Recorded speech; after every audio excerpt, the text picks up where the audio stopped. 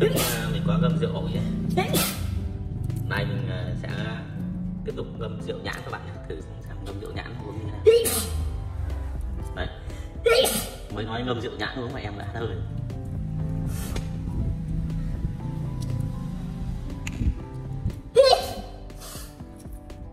Các bạn đã thử uống rượu nhãn bao giờ chưa? Nếu chưa thì các bạn có thể ngâm xem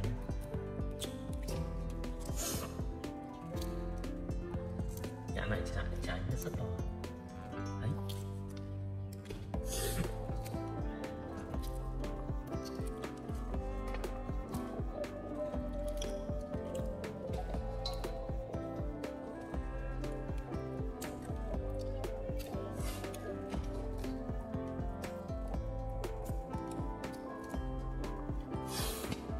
là mình đang à, dự tính là nấu một cái bình à, 3 lít